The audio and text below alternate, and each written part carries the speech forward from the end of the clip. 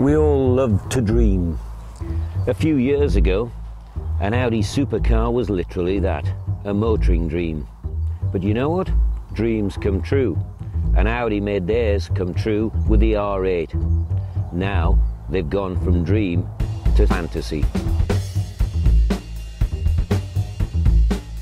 This, ladies and gentlemen, is the Audi R8 Spider, the most expensive Audi ever at £117,000.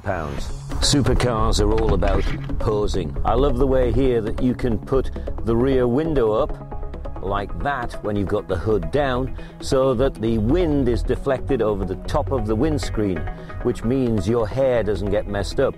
Obviously not a great problem for me, but the girls I think will really appreciate it.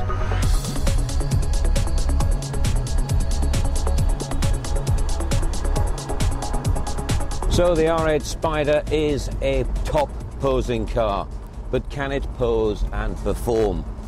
You bet it can. It's powered by a monster V10 engine, and that makes this one potent car.